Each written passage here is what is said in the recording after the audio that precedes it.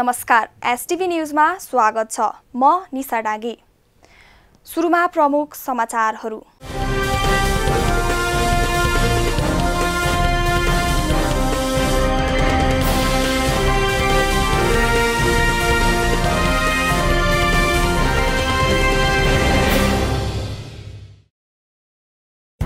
उपत्यका र घना बस्ती भएका ठाउँहरूमा साठी वर्ष माथिका ज्येष्ठ नागरिक र बाह्र वर्ष मुनिका बालबालिकालाई घरबाट बाहिर ननिस्कन अनुरोध। जोखिम बढेको भन्दै थप सतर्कता अपनाउन स्वास्थ्य मन्त्रालयको सम्पूर्णमा आग्रह। जनकपुर धाममा सोमबार रातिदेखि लागू हुने गरी एक हप्तासम्मका लागि निषेधाज्ञा र झापाको बिर्तामोडमा पनि सङ्क्रमण रोक्नका लागि आइतबार रातिदेखि गरियो लकडाउन। म्याग्दीको सदरमुकाम बेनीमा अवस्थित बेनी अस्पतालमा आइतबारदेखि निशुल्क डायलाइसिस सेवा सुरु। सेवा सुरु गरिएसँगै अब एकै दिनमा छजना बिरामीको डायलाइसिस गर्न सकिने अस्पतालको भनाई। ब्राजिलमा कोरोना भाइरसबाट मृत्यु हुनेको सङ्ख्या चौरानब्बे हजार नाघ्यो पछिल्लो चौबिस घन्टामा मात्र ब्राजिलमा कोरोना भाइरसका कारण पाँच सय एकचालिसजनाको मृत्यु भएको मन्त्रालयको भनाई। र भाइरसको सङ्क्रमण बढ्न थालेकाले फिलिपिन्सको राजधानी मनिला वरपरका क्षेत्रमा लकडाउनको घोषणा। सङ्क्रमित बढेसँगै दस हजार नयाँ स्वास्थ्यकर्मी थप गर्ने फिलिपिन्स सरकारको योजना।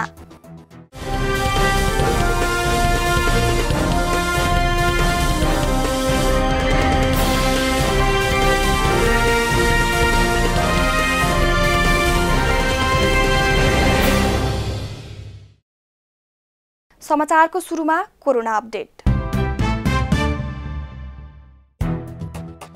स्वास्थ्य तथा जनसङ्ख्या मन्त्रालयले दिएको जानकारी अनुसार सोमबारसम्म नेपालमा कोरोना सङ्क्रमितहरूको सङ्ख्या बिस हजार सात सय पचास पुगेको छ र चौध हजार नौ सय एकसट्ठी सङ्क्रमितहरू निको भएर घर फर्किसकेका छन् भने नेपालमा हालसम्म कोरोना भाइरसकै कारण मृत्यु हुनेको सङ्ख्या सन्ताउन्न पुगेका छन्। त्यस्तै गरेर मन्त्रालयबाट प्राप्त जानकारी अनुसार हालसम्म तिन लाख अन्ठानब्बे हजार नौ सय सातजनाको पिसिआर विधिबाट कोरोना परीक्षण गरिएको छ र हाल पाँच हजार सात सय बत्तिस जनालाई आइसोलेसनमा राखिएको छ। अब विश्वको कोरोना अपडेट। जन्स हपकिन्स विश्वविद्यालयका अनुसार कोरोना भाइरसबाट विश्वको सबैभन्दा प्रभावित मुलुक अमेरिकामा हालसम्म छयालिस लाख सडसठी हजार भन्दा बढी सङ्क्रमित भेटिएका छन्। लगभग एक लाख चौन्न हजार भन्दा बढीको मृत्यु र चौध लाख अडसठी हजार भन्दा बढी निको भएर घर फर्किसकेका छन्। कोरोनाबाट दोस्रो प्रभावित मुलुक ब्राजिलमा सत्ताइस लाख तेत्तिस हजार भन्दा बढी सङ्क्रमित मृत्यु हुनेको सङ्ख्या चौरानब्बे हजार भन्दा बढी र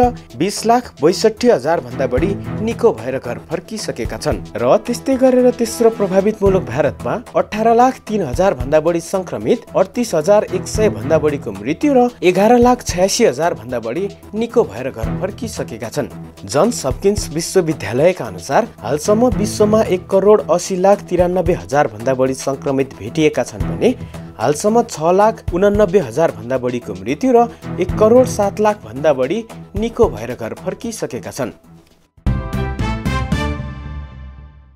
कोरोना अपडेट यति नै। अब समाचार विस्तारमा। सरकारले काठमाडौँ उपत्यका र घना बस्ती भएका ठाउँहरूमा साठी वर्ष माथिका ज्येष्ठ नागरिक र बाह्र वर्ष मुनिका बालबालिकालाई घरबाट बाहिर ननिस्कन अनुरोध गरेको छ। स्वास्थ्य मन्त्रालयका प्रवक्ता डाक्टर जागेश्वर गौतमले यी उमेर समूहका व्यक्ति सङ्क्रमणको जोखिममा रहेको बताउँदै घरबाट बाहिर ननिस्कन आग्रह गर्नुभएको हो। पछिल्लो समय नेपालमा कोरोना सङ्क्रमणको जोखिम बढेको भन्दै सरकारले थप सतर्कता अपनाउन आग्रह समेत गरेको छ। साथै सङ्क्रमितको उच्च जोखिममा वृद्ध वृद्धा र बालबालिका रहेको भन्दै मन्त्रालयले पनि पटक पटक यस्ता समूहका व्यक्तिहरूको विशेष ख्याल गर्नुपर्ने बताउँदै आएको छ। जनकपुर धाम उपमहानगरपालिकामा सोमबार रातिदेखि लागू हुने गरी एक हप्तासम्मका लागि निषेधाज्ञा जारी गरिएको छ। धनुषाखा प्रमुख जिल्ला अधिकारी प्रेम प्रसाद भट्टराईले उपमहानगर क्षेत्रमा कोरोनाको जोखिम बढ्दै गएकाले सोमबार राति बाह्र बजेदेखि लागू हुने गरी निषेधाज्ञा जारी गरिएको जानकारी दिनुभएको छ। कोरोना संक्रमणको प्रभावकारी रोकथाम तथा नियन्त्रण र यसको संक्रमण फैलन नदिनका लागि जिल्लाभरि प्रतिकूल प्रभाव पर्न सक्ने कुनै किसिमको गतिविधि हुन र गर्न नदिन नेपाल राजपत्रमा तोकिएका अत्यावश्यक सेवा बाहेकका अन्य सबै सेवा र स्थलहरू सोमबार राति बाह्र बजेदेखि एक हप्तासम्मका लागि निषेधाज्ञा जारी गरिएको बताइएको छ। प्रशासनले अत्यावश्यक सेवामा भने कुनै प्रतिबन्ध लगाएको छैन। र त्यस्तै गरेर झापाको बिर्तामोड नगरपालिकाले पनि आइतबार राति बाह्र बजेदेखि फेरि लकडाउन गर्ने निर्णय गरेको छ। नगर प्रहरी कर्मचारी र सुरक्षाकर्मीमा संक्रमण देखिएकाले जोखिम बढेको भन्दै मेयर ध्रुव कुमार शिवाकोटीले जानकारी दिनुभएको छ। मेयर शिवाकोटीले थप एक सय सत्तरी जनाको परीक्षण गर्न पठाइएको समेत बताउनु भएको छ। लकडाउन भएसँगै अब नगरपालिकाभित्र अति आवश्यक बाहेक सबै सेवा बन्द हुनेछन्। बिर्तामोड भएर गुड्ने लामो दूरीका सवारी साधनलाई पनि नगरभित्र रोक्न निषेध गरिएको छ। पछिल्लो समय विभिन्न ठाउँमा संक्रमणको जोखिम बढेका नेपालका विभिन्न ठाउँहरूमा कतै लकडाउन त कतै निषेधाज्ञा जारी गरिएको छ। हालसम्म नेपालको वीरगञ्ज पर्सा जनकपुर र झापाको बिर्तामोडमा निषेधाज्ञा जारी गरिसकेको छ। हिमाली जिल्ला म्याग्दीको सदरमुकाम बेनीमा अवस्थित बेनी अस्पतालमा आइतबारदेखि निशुल्क डायलाइसिस सेवा सुरु भएको छ। यसबाट मृगौला पीडितले नियमित डायलाइसिस गर्न जिल्ला बाहिरका सरकारी र निजी अस्पतालमा महँगो रकम तिर्नुपर्ने बाध्यताको अन्त्य भएको छ। गण्डकी प्रदेशको सामाजिक विकास मन्त्रालयले अस्पताललाई डायलाइसिसका लागि आवश्यक उपकरण सहित तालिम प्राप्त चिकित्सकको व्यवस्था गरेर सेवा सुरु गरेको हो। आइतबार दुई मृगौला पीडितले सेवा लिएका छन्। गण्डकी प्रदेशले उपलब्ध गराएको चारवटा उपकरण र प्रवासी म्याग्दीले दिएको दुईवटा मेसिन रहेको अस्पतालमा होमोडायलाइसिस युनिटको सेवा शुभारम्भ भएको अस्पताल व्यवस्थापन समितिका अध्यक्ष बेलबहादुर कटुवालले जानकारी दिएका छन्।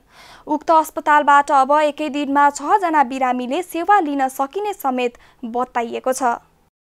प्रत्येक वर्ष श्रावण शुक्ल पूर्णिमाका दिन मनाइने जने पूर्णिमा पर्व आज देशभर नयाँ जनै फेरेर र रक्षाबन्धन बाँधेर मनाइँदैछ।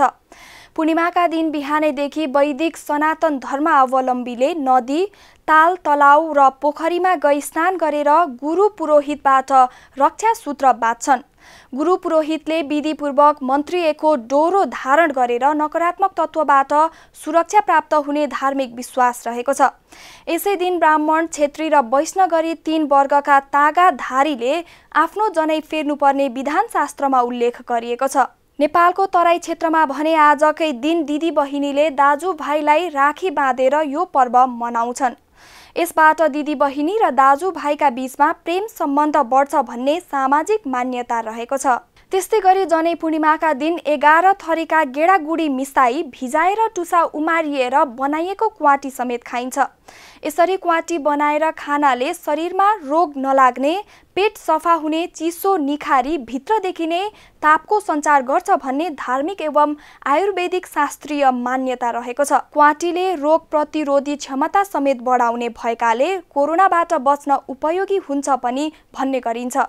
काठमाडौँको उत्तर पूर्वी भेगमा रहेको मणिचुड रसुवाको गोसाईकुण्ड ललितपुरको कुम्बेश्वर सिन्धुपाल्चोकको पाँच पोखरी धनुषाको जनकपुर धाम नवलपरासीको त्रिवेणी धाम लगायत स्थानमा बिहानैदेखि मेला लाग्ने गरेकोमा यस वर्ष कोरोना भाइरसका कारण मेला भने स्थगित गरिएको छ। अब अन्तर्राष्ट्रिय समाचारहरू। ब्राजिलमा कोरोना भाइरसबाट मृत्यु हुनेको सङ्ख्या चौरानब्बे हजार नागेको छ। ब्राजिलको स्वास्थ्य मन्त्रालयले दिएको जानकारी अनुसार अहिलेसम्म ब्राजिलमा कोरोना भाइरसका कारण चौरानब्बे हजार एक सय चारजनाको मृत्यु भइसकेको छ। पछिल्लो चौबिस घण्टामा मात्र ब्राजिलमा कोरोना भाइरसका कारण पाँच सय एकचालिसजनाको मृत्यु भएको छ। ल्याटिन अमेरिका र क्यारेबियन क्षेत्रमा मात्र कोरोना भाइरसका कारण मृत्यु हुनेको सङ्ख्या दुई लाख नागिसकेको छ जसमा ब्राजिलमा सबैभन्दा धेरै मानिसको मृत्यु भएको छ। गत साता ब्राजिलका राष्ट्रपति जेयर बोल्सोनारोकी पत्नी मिसेल बोल्सोनारो र मन्त्री परिषदका अन्य दुई मन्त्रीहरूमा पनि कोरोना संक्रमण पाइएको थियो। राष्ट्रपति बोल्सोनारो भने कोरोना संक्रमणपछि निको भइसकेका छन्। पछिल्लो केही समय यता कोरोना भाइरसको संक्रमण बढ्न थालेसँगै फिलिपिन्सको राजधानी सहर मनिला वरपरका क्षेत्रमा लकडाउनको घोषणा गरिएको छ। मनिलाका डाक्टरहरूले कोरोना भाइरस नियन्त्रणका लागि तत्कालै कुनै कदम उठाउन नसकिए अवस्था नाजुक हुन सक्ने चेतावनी दिएका थिए। उनीहरूले अहिले फिलिपिन्सले आफ्नो कोरोना भाइरस विरुद्धको लडाईँ हार्दै गएको र यो रोगले मुलुकको स्वास्थ्य प्रणाली नै कमजोर बनाउन सक्ने चेतावनी दिएका थिए। सङ्क्रमण रोक्नका लागि अहिले लगाइएको लकडाउनमा मनिलाका केही व्यवसायहरू र सार्वजनिक यातायातहरू बन्द रहनेछन्। उक्त लकडाउन मङ्गलबारदेखि सुरु भई दुई सातासम्म चल्नेछ र हालै फिलिपिन्सको सरकारले करिब दस हजार नयाँ स्वास्थ्य कर्मी थप गर्ने योजना रहेको समेत बताइएको छ। हस्त आजलाई एसटिभी न्युज यति नै। नमस्कार।